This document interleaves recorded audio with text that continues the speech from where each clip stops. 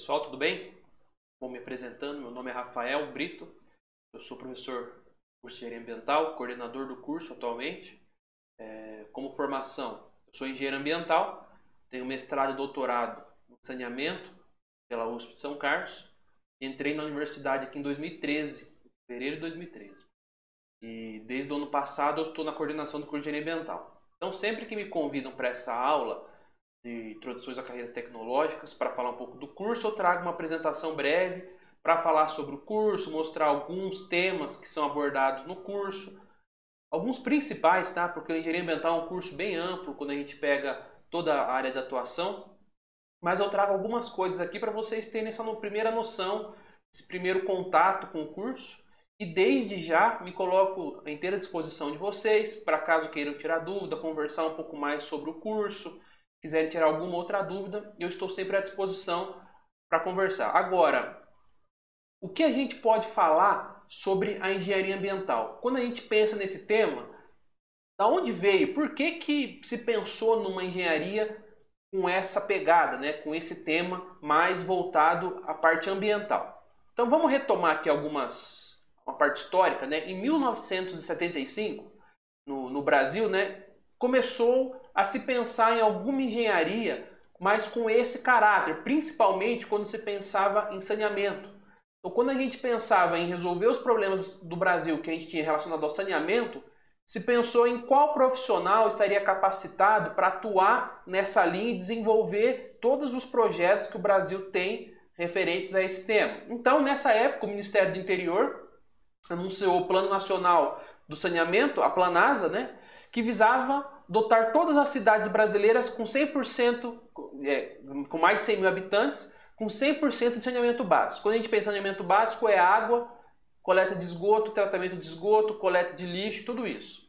Então, naquela época, veio o MEC, junto com a Planasa, que foi esse plano nacional, e foi fazer uma missão no exterior, na Inglaterra. E essa missão que eles fizeram é justamente com o objetivo de ver qual curso superior ou qual profissional estava mais capacitado, seria mais adequado, mais qualificado para atuar nessa linha de você resolver esses problemas relacionados ao saneamento. Então, quando eles chegaram lá, eles perceberam que havia dois tipos, dois grupos de, de, de engenharias, de, de, formação, que ajudavam nessa solução, que seria basicamente a engenharia ambiental, que eles já, já tinham lá, que seria um caráter mais preventivo, e tinha a engenharia sanitária, que a gente também tinha no Brasil, com caráter mais curativo. O que, que são caráter preventivo e caráter curativo? Preventivo você faz antes de acontecer o problema, você planeja antes do problema existir, você faz antes de você ter a poluição, por exemplo. Já o curativo é aquele profissional que quando você um problema, você o contrata para ele resolver aquele problema que já foi que já está em, em, atuação, que já foi feito. Vamos dizer assim de forma bem simples, tá? Não, não quero aqui definir nenhuma das duas engenharias só com essas frases, mas no geral foi isso que eles perceberam, que tinha esses dois tipos de atuação, esses dois tipos de profissionais atuando, tanto de caráter preventivo, mais engenharia ambiental, e caráter curativo, engenharia sanitária.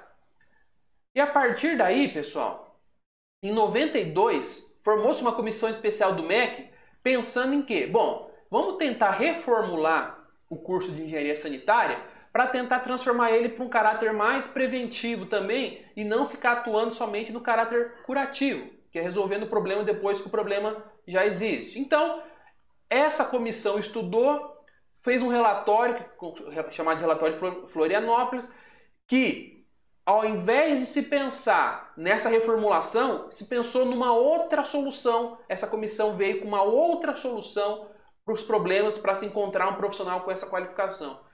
E essa comissão buscou então a criação do curso de engenharia ambiental e não mais uma adaptação do curso de engenharia sanitária.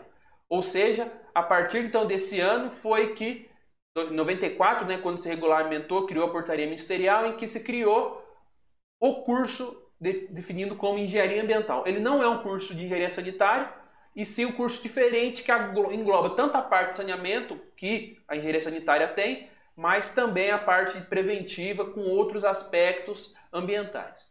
Então, quando a gente pensa em engenharia ambiental, ela é um ramo de engenharia que estuda os problemas ambientais de forma integrada nas suas dimensões ecológica, social, econômica, tecnológica, com vista a promover um desenvolvimento sustentável.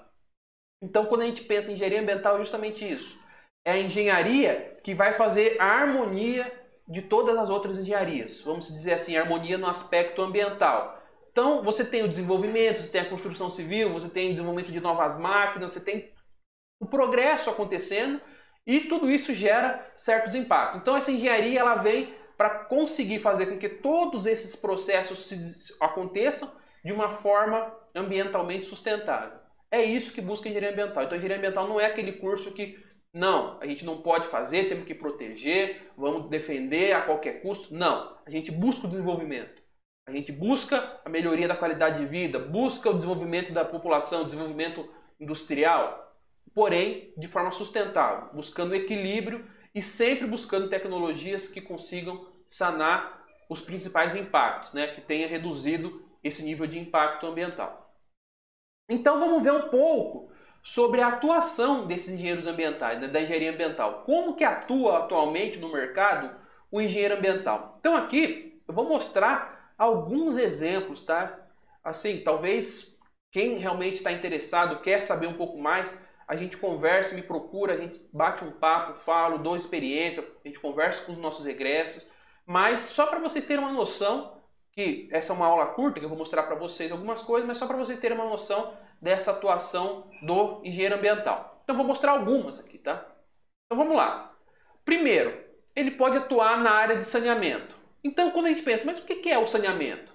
Quando a gente pensa em saneamento, é você controlar todos os fatores do meio físico que exercem ou que podem exercer um efeito deletério, ou seja, um efeito prejudicial ao bem-estar físico, mental e social da população.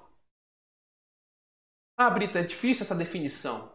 Vamos pensar então, tudo que pode causar um problema de mal-estar, seja com uma doença, ou seja um mal-estar psicológico, de você ver uma situação que não, não é adequada, ou seja um, um mal-estar físico mesmo, social, que você vê questões de desigualdades, tudo isso relacionado basicamente ao saneamento.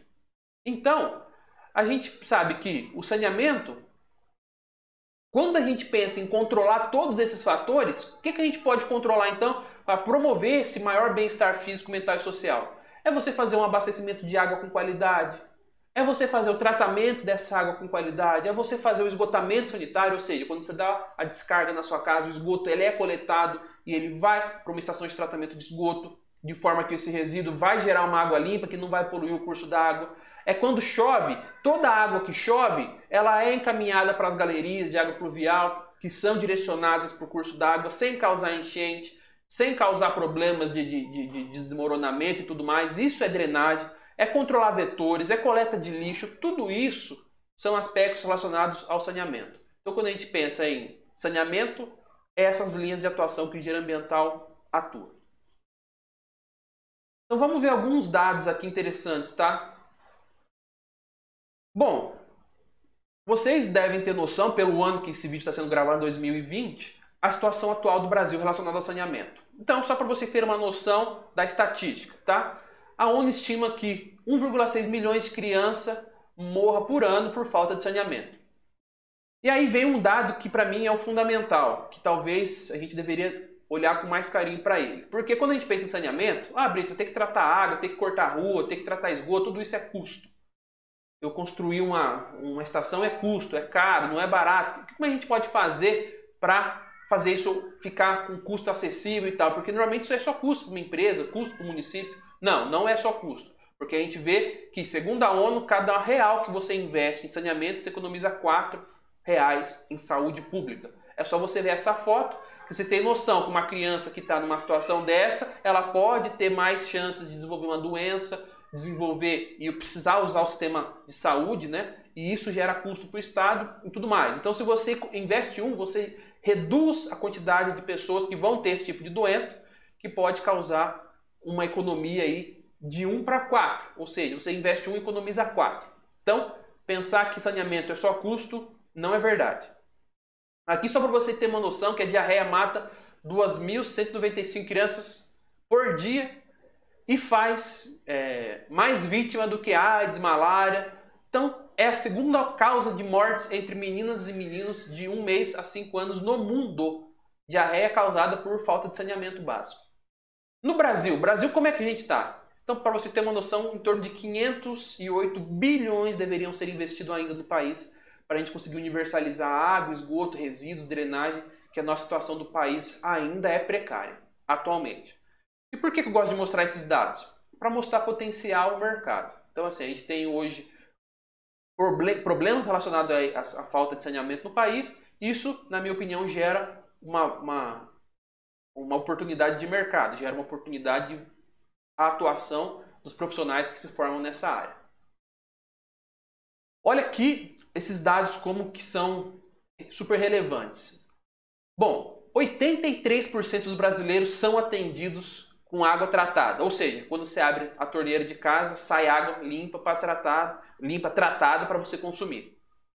Ah, Brito, então é muito bom, é muito bom. Só que 35 milhões de brasileiros, ou seja, esse resto que sobra da porcentagem, não tem acesso a esse serviço básico. Vocês têm noção o que é você chegar na sua casa e você abrir uma torneira e não ter água, ou tua casa não ter nem torneira, é você ter que buscar um quilômetro, dois quilômetros, uma fonte de água limpa para você conseguir fazer uso na sua casa, para você conseguir fazer um alimento, para tomar um banho. Acredito que a situação que a gente vive a gente não consiga ter essa dimensão, mas existem 35 milhões de brasileiros que vivem nessa situação, infelizmente. Coleta de esgoto. O que é coleta de esgoto? Bom, quando eu estou lá na minha casa, tomo banho, dou descarga, lavo a, louça na, na cozinha, todo aquela, aquele esgoto que gera, aquele resíduo líquido que gera, ele vai ser coletado e encaminhado para algum lugar. Não estou nem pensando em tratamento, estou pensando só encaminhar para algum lugar esse resíduo. No Brasil, metade da população tem acesso a esse serviço, a outra metade não tem acesso. Ou seja, mais de 100 milhões de brasileiros não têm acesso a esse serviço. Você tem noção do que é você ter que ficar preocupado com uma fossa séptica que vai enchendo e você ter que chamar um caminhão para limpar, ou você dar descarga aquilo lá ir na rua da sua casa, numa vala, no fundo da sua casa? Eu acho que a gente também não, acredito que a gente não tem essa noção por não viver numa situação assim, mas existe metade da nossa população, metade da população do nosso país vive numa situação assim. E com relação ao tratamento do esgoto, aí é pior ainda a situação. 46% só do esgoto produzido são tratados. Ou seja, a maior parte do esgoto não é tratado no país. E isso, posso falar para vocês que é um problemão e vai demandar muito serviço, muito tempo para que seja resolvido. De novo, ah, Brito, mas saneamento é só custo? De jeito nenhum. 2013 teve um dado que 14 milhões de casos de afastamentos foram feitos devido a vômito e diarreia. O pessoal se afasta do trabalho para se tratar. Isso é custo, é hora não trabalhada, é custo para a empresa, tudo isso então seria resolvido se o Estado tivesse um serviço de saneamento ou se tivesse um plano né, de universalizar esse saneamento no país. Que infelizmente, no ano de 2020, a gente encontra esse problema. Ô Brito, tudo isso que está falando deve ser uma tecnologia muito difícil de você tratar esgoto, de você. Vou mostrar aqui para vocês. Existem diversas tecnologias que podem ser aplicadas para o tratamento de água, esgoto. Vou mostrar algumas para vocês terem uma noção do que o engenheiro ambiental projeta, tá? Então, assim, a gente não só acha problemas nem nada, a gente propõe soluções. E essas soluções são projetos. Esses projetos são desenvolvidos, projeto de engenharia, projeto executivo e tal, que são aplicados para resolver esses problemas relacionados ao saneamento. Por exemplo, projeto de sistema de tratamento de esgoto. Esse aqui é um dos sistemas que existem, são lagoas de tratamento. Esse é o sistema lá de, da, da, cidade onde meus pais moram, que são Votuporanga, estado de São Paulo, trata 370 litros por segundo. São sistemas mais simples que existem atualmente em tratamento, são feitos por lagoas, equivale a uma área de 30 campos de futebol, baixo consumo de energia, um sistema super vantajoso, simples de dimensionar. A gente aprende a dimensionar isso no curso de engenharia ambiental, então é muito tranquilo a gente entender que existem técnicas super baratas, super simples de serem implantadas. Existem também técnicas mais sofisticadas, como essas lagoas já com um sistema de sofisticação, que seria você inserir mais é, inserir aeração, ou seja, você começa a jogar ar no sistema, como você pode observar em, em lagos para criação de peixe, aqueles aeradores. Isso também é usado em estações de tratamento de esgoto para você melhorar a qualidade do seu efluente final por meio da digestão aeróbia desses poluentes. Tudo isso é visto no curso com muita calma, com muito detalhamento a bioquímica do processo. Então, é coisas que eu passo aqui para vocês, para vocês terem uma noção que existem tecnologias. Outro sistema existe também, sistema de lodos ativados, é hoje um dos mais sofisticados, vamos dizer assim. Quando você quer um efluente com uma alta qualidade, com um efluente super tratado, normalmente são essa, essa tecnologia aplicada. também é a mais cara para ser implantada, ela envolve maior, maior custo, tanto de construção, quanto de operação, quanto de manutenção. Então ela tem esses problemas, mas tudo isso é colocado na balança quando a gente pensa em fazer um projeto nessa área de saneamento. Mas existe, aqui para você ter uma noção, a estação lá de Franca, uma vazão de 6 metros cúbicos por segundo. Olha o tamanho dessa área, uma área muito inferior às da àquela lagoa que a gente viu, tratando uma vazão muito superior, ou seja, mais de 20 vezes, praticamente 20 vezes superior àquela vazão. Então você começa a envolver mais tecnologia, você reduz em área, você reduz custo para comprar terreno, tudo, mas você aumenta custo para construir os tanques, aumenta custo para você fazer a manutenção, custo com energia elétrica. Tudo isso a gente coloca numa balança e faz depois a escolha quando a gente pensa em fazer um projeto de uma estação de tratamento de esgoto. Então, continuando. Outro sistema de gelo desativado em batelados, aqui já é para uma indústria. Isso aqui tudo, aqui, para vocês terem uma noção, é tudo empresas que os ex-alunos formados na Unifal estão trabalhando, eles acabam vindo pedir ajuda em algum outro sistema a gente vai, eles mandam fotos, aqui é o sistema de lodos ativados. Sistema também aplicado em indústria, que a gente aprende a projetar, aprende o sistema, como é que funciona isso no curso, para tratar uma vazão de 160 metros cúbicos dia. Aqui uma foto de todo o sistema dessa empresa, uma empresa do ramo alimentício. Então, a atuação é gigante nessa área de resíduos líquidos, tratamento de efluentes. Sem falar na parte de tratamento de água, que é água para consumo, que todo município tem, a gente no Brasil está numa situação um pouco melhor quando pensa em água para consumo. Porém, para esgoto, normalmente eu trago a estatística aqui porque a, a situação é um pouco pior e é importante trazer para vocês, para vocês observarem que tem muita demanda e vai precisar de muitos profissionais nessa área. Lixo, resíduos sólidos. O Brasil também, a gente tem basicamente três formas de destinar resíduo sólido. Tem aterro sanitário, aterro controlado e lixão. O que é um aterro sanitário? é uma obra de engenharia toda projetada para coletar o lixo, fazer com que ele não contamine o solo. Você coleta todo o chorume produzido, você pega o biogás produzido para fazer com que o sistema não produza, não polua, não haja poluição atmosférica com metano, tudo isso é controlado. E a pior forma é o lixão, que infelizmente no Brasil ainda predomina. O que é o aterro controlado? O aterro controlado seria um lixão que tem um portão, que tem um controle de acesso, alguma coisa assim. Então não é nada muito sofisticado. E o lixão é essa situação precária que vocês vê com acesso de qualquer pessoa, que pode fazer ali a reciclagem, enfim, uma situação mais é, errada, uma situação, a pior situação de você ter uma destinação desse resíduo. Aí o aterro controlado, então além de um portão, você pode fazer a cobertura desse lixo, então você vê ainda a presença de muitos animais, tá vendo aqui? Desses é, animais do lixo aqui presente, porém você faz o cobrimento dele, você reduz um pouco o impacto de odor e tudo mais que pode estar presente ali. E o mais adequado é a obra de engenharia, aí sim o aterro sanitário que você tem camadas de proteção do solo, você tem essas valas onde você coloca o teu resíduo, você tem esses tubos de coleta do biogás. Isso é uma obra de engenharia. E quem está atualmente trabalhando nessa área, muita, muitos profissionais são engenheiros ambientais que trabalham não só com a parte de projeto, em empresas que fazem ensinamento, mas também com a parte de operação, de estar tá ali no aterro, fazendo a parte de licenciamento, fazendo a parte de gestão do aterro. Então são coisas bem interessantes que o engenheiro ambiental consegue atuar. Tá? Olha, quando tudo isso aqui é lixo, tá? Tudo isso é resíduo colocado de uma forma de, com engenharia aplicada, né? Você tem então, você não vê lixo, mas isso aqui é uma coluna de lixo coberto. Você planta um, uma grama depois para você dar esse visual que depois de algum tempo você nem percebe que isso aqui era uma área destinada a, a, a resíduo, né? Então isso é um lixão, é um, é aterro depois de um tempo de, de operação é, você vê que é completamente diferente daquela nossa primeira imagem, né? O Brito, mas o engenheiro ambiental só trabalha nessa parte? Não trabalha em obra? Não pode trabalhar atuando em rodovia, alguma coisa assim? Bom, vamos ver. Aqui eu gosto de trazer para vocês algumas imagens. Isso aqui são obras do Rodoanel, e engenheiro ambiental, inclusive professor da Unifal na época, ele era engenheiro ambiental e trabalhava nessa obra, o professor Rafael Chiesi ele trabalhava com gestão em obras civis. Isso aqui é a construção do rodoanel e simplesmente quando se desmata a área para fazer a construção da rodovia, você gera ali muito solo exposto e quando tinha chuva, alguma coisa, a chuva, que, a chuva que carrega, acabava carregando esse solo exposto e ia para os mananciais ali perto da represa Bires e tudo mais. E eles tinham que pensar em alguma solução para evitar que contaminasse essa água. Se tem uma represa e de repente você tem o carregamento desses sólidos para a represa, você precisa fazer alguma alternativa para fazer a redução desse carregamento. E aí eles pensaram numa solução. É, tá vendo aqui quando eu falo? Ó, quando você desmata uma área para você fazer uma rodovia, você gera muito solo exposto. Esse solo exposto numa chuva ele é carregado. Ele carrega e vai cair no curso da água ali mais baixo. Então o que, que eles pensaram? Cortinas de turbidez. Você então vai lá e põe.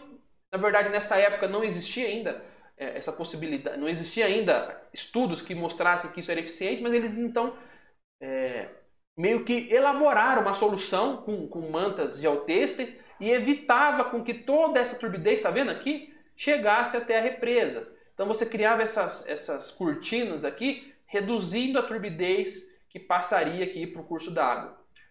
Tudo isso foi ideia aí da engenharia ambiental de atuação na linha tanto de aplicação quanto de pesquisa e desenvolvimento, mas trabalhando diretamente em obra, diretamente em gestão de obra civil.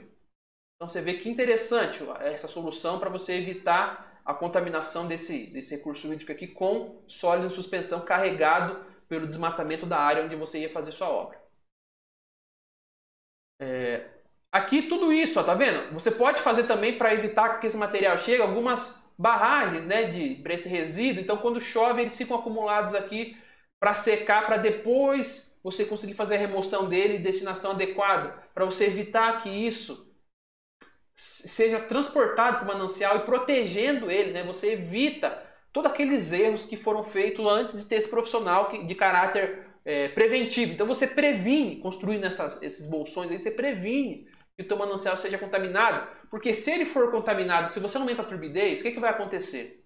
Alguém vai pagar essa conta. Quem vai pagar? Normalmente o município que for captar essa água para tratamento e para distribuição. Uma água mais poluída vai ter mais custo no tratamento e você vai prejudicar então a população daquele município, porque eles vão pagar mais pela conta de água por ser uma água mais difícil de ser tratada. Então, assim, na engenharia ambiental eu costumo falar que nada é de graça. Se você não faz o seu papel, se você não resolve o seu problema, alguém vai pagar a conta. E esse alguém é a população normalmente. Aqui algumas áreas né, do, de, de, dessa obra de engenharia, como tá vendo? Aqui você tinha um, um um braço de um curso d'água conforme você vai assoreando, né, vem carregando material, ele vai sumindo, tá vendo? Ó, ó, chegou um ponto que não existia mais nada. Então você pega três fotos aqui, tinha um, um canal e aí conforme você foi fazendo a obra aqui, esse canal foi assoreando, foi acumulando sólidos até chegar num ponto que não tinha mais esse braço e aqui está a rodovia construída. Então você vê o impacto aí que pode ser causado com uma obra quando você não tem uma gestão adequada. Olha, olha aqui, mais recente, em 2008, onde foi tirada essa, essa imagem. Um outro ponto, recuperação de área degradada, que na mesma obra também você tinha alguns canais que você precisava recuperar para fazer uma boa gestão, para você fazer o replantio por conta da drenagem, porque toda a parte da rodovia, quando você tem a chuva ali no concreto, no, no asfalto, né, você tem que ter a drenagem, tem que fazer uma drenagem correta, e isso normalmente vai para o curso da água.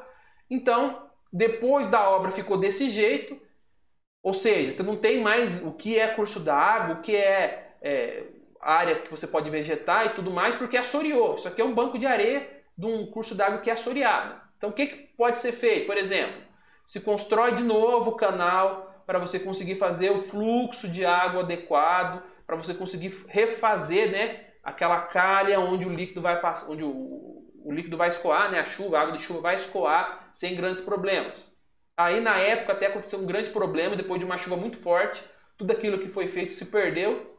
Infelizmente a força da, na natureza às vezes é muito, muito grande, a gente não consegue com as obras de engenharia ainda resolver todas, a gente vê por aí muitos problemas de, de deslizamento do solo, tudo que são obras que a gente faz e depois vem a natureza, infelizmente, ela é mais forte e acaba é, destruindo a obra, mas enfim, depois foi tudo refeito, novamente tentando adotar umas técnicas mais robustas para evitar esse desmoronamento num período de chuva forte. Isso aqui seria o resultado final de uma obra de engenharia basicamente engenharia ambiental atuando também em gestão de obra civil, recuperando área degradada. Então você vê que isso aqui é uma área preservada ao entorno, que tinha uma área degradada aqui no meio, ó. se você olhar a primeira, isso aqui é uma área completamente degradada, se isso aqui você não tem uma atuação humana, você não consegue recuperar e voltar às condições naturais aqui, mas você consegue então com a atuação fazer a recuperação, plantando novamente a APP e revegetando essa área. Ô Brito, tá bom, você já mostrou que eu posso trabalhar com saneamento, posso trabalhar em gestão de obra, posso trabalhar na parte de recuperação, mas eu quero trabalhar dentro de uma empresa, quero trabalhar numa multinacional. Tenho essa possibilidade? Tem, pessoal. Toda empresa, basicamente toda, para não falar, não vou falar todas, mas 99% das empresas geram algum tipo de resíduo. Essas empresas vão precisar de licenciamento ambiental, elas vão ter que fazer a gestão desse resíduo, de repente elas vão ter que fazer até o tratamento desses resíduos. De repente, o local dessa empresa, onde essa empresa está instalada, ela vai precisar ter uma estação de tratamento de água. Então, o engenheiro ambiental ele atua dentro de uma empresa, sim. Então, em, em diferentes vertentes. Ah, a empresa quer instalar a ISO 14000, a ISO de, de, de do meio ambiente. Também. O engenheiro ambiental atua diretamente nessa gestão para conseguir certificação e tudo mais. Então, existe essa atuação da engenharia ambiental dentro de empresa e você pode ver aí nossos egressos fazendo estágio também, alguns alunos do nosso curso trabalham em empresas fortes aqui do nosso município, da região, ou até de outros municípios, região de São Paulo, Campinas, por exemplo. Aqui então só para vocês terem uma noção. Brito, mas onde mais? O engenheiro ambiental pode trabalhar com a parte de monitoramento de fenômenos naturais, por exemplo, trabalhando com geoprocessamento, com imagem de satélite, com mapeamento. Então aqui de novo, era uma área que tinha uma certa condição inicial e conforme você vai vendo o passar do tempo, né, você vai perdendo aquela condição natural do teu curso d'água devido a assoreamento. Por quê? Olha essa imagem aqui. Você tem uma obra de engenharia aqui, construção de rodovia, por exemplo, e você tem um manancial. Conforme essa obra foi avançando, olha o que foi acontecendo com o início lá do teu manancial. Ele vai assoreando, ele vai perdendo capacidade de acumular água devido ao acúmulo de sólidos que vai carregando ali. Então você consegue também trabalhar no monitoramento, trabalhar acompanhando a evolução desses fenômenos, tentando sempre minimizá-lo, né? fazê-lo com que ele fique de forma reduzida, atuando com, com ferramentas da engenharia ambiental para reduzir esses efeitos das, das atividades. Aqui o um mapa de solo. Ah, vou ter uma certa bacia hidrográfica aqui. Essa aqui é do Ribeirão do Cipó. Eu quero fazer o um levantamento para saber o que é área verde, o que é plantação, o que é solo exposto, o que é cultura, o que é APP. Tudo bem, esse aqui é um mapa, inclusive, de, de alunos nossos, tá? De, de, de, alunos formados no curso, de um uso e ocupação do solo. Ô, Brito, mas para que serve isso? Para planejamento. Quando você pensa em planejamento urbano, crescimento de cidades, plano diretor, você precisa ter um bom levantamento das, dos aspectos físicos, do terreno, de tudo. Então você precisa desses levantamentos. E a engenharia ambiental aqui, principalmente no nosso campus aqui, tem uma forte linha que trabalha tanto a parte de saneamento, a parte de gestão de indústria, a parte de, de, de monitoramento de desastres naturais, tem a parte de recuperação de área degradada e a parte de geoprocessamento e levantamento, mapeamento de áreas para se fazer o planejamento urbano adequado. Então, é uma das áreas da engenharia ambiental também. Então, para a gente finalizar, vamos ter essa tabelinha aqui para mostrar no geral. Então, como é que a gente pode trabalhar a engenharia ambiental? Dividir nesses três grandes eixos, tá? Saneamento, estudo de impacto ambiental e meio físico e gestão e planejamento ambiental. Então, no saneamento, tratamento de água, tratamento de esgoto, tratamento de resíduos sólidos, tratamento de efluentes e águas residuárias, rede de coleta de afastamento de esgoto, rede de abastecimento de água, parte de, de, de controle de poluição atmosférica, tudo isso atuação na área de saneamento.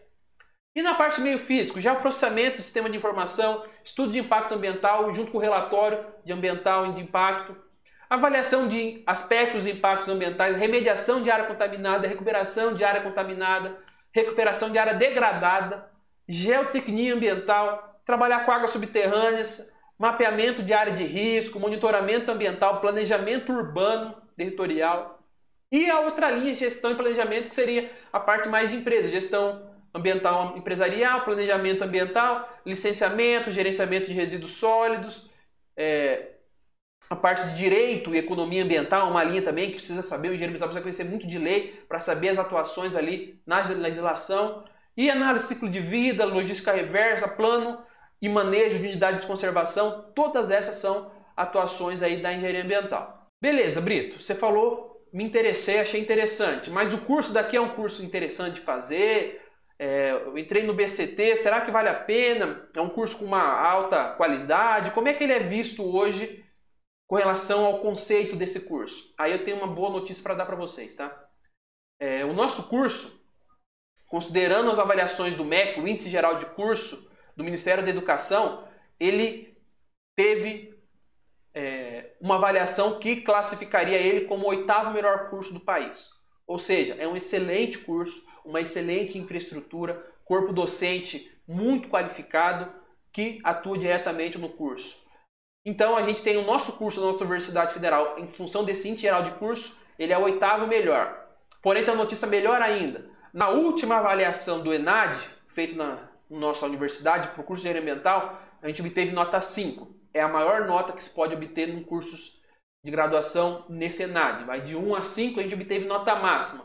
Isso só mostra o trabalho e dedicação aqui dos nossos docentes, dos técnicos da universidade, da nossa direção e também dos nossos alunos que têm esse comprometimento quando entra no curso de querer um curso de qualidade, exigir qualidade, ir para o mercado de trabalho, trabalhar em empresas e mostrar sempre um grande trabalho, se mostrar um grande, se mostrar né, um grande profissional que é o engenheiro ambiental que é formado aqui na nossa universidade. E quando a gente considera cursos de engenharia ambiental, porque a gente tem cursos muito antigos na universidade, em outras universidades, por isso que a gente talvez não consegue uma posição melhor. Mas quando a gente considera universidades do nosso porte, cursos do nosso porte, a gente é classificado como a segunda melhor curso, o segundo melhor curso de engenharia ambiental do país, para universidades do porte da Unifal. Isso são dados todos tirados da, do, do, site da Unifal, tá? Não estou inventando nada. É tudo coisas que você pode ir no site do MEC verificar isso, no site da Unifal verificar isso e a gente tem um excelente curso aqui. Então, vocês que têm essa afinidade, vocês que entraram no BCT e têm esse interesse, você tem, é, é, pelo menos quer conhecer ou tem é, essa vontade de conhecer um pouco mais, de atuar nessa linha, eu como coordenador e todo o corpo docente do curso está à disposição para tirar qualquer dúvida. Aqui na, na, universidade a gente tem quatro engenheiros ambientais no curso, né? Eu, professor Diego Sardinho, professor Rafael Tiese e professor Paulo Henrique. São todos engenheiros ambientais, cada um trabalha numa linha diferente. Eu no saneamento, o professor Rafael Tiese na área de gestão ambiental empresarial, o Diego Sardinha na parte de meio físico e solo, o professor PH, Paulo Henrique, ele trabalha mais nessa parte de geoprocessamento. Então, tem um rol completo aí de, de professores que querem atuar, é, que, que, são engenheiros ambientais, que atuam em diferentes áreas, fora outros profissionais. Temos também no nosso curso engenheiro florestal, agrônomo, biólogo, engenheiro agrícola, engenheiro agrônomo. Então a gente tem uma gama de formação que trabalha diretamente no nosso curso, que vão aí fazer uma ótima formação profissional de vocês. Então quem tem interesse pode me procurar, estou sempre à disposição. Eu agradeço vocês por acompanhar essa aula. O que eu tinha para passar para vocês é isso. Muito obrigado e estou à disposição.